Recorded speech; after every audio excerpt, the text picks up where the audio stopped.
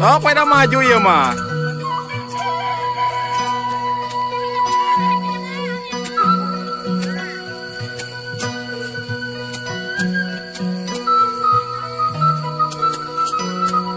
Oh, langsung dibersihan ya mah. Balik keprak dibawa ke imah juga nanti.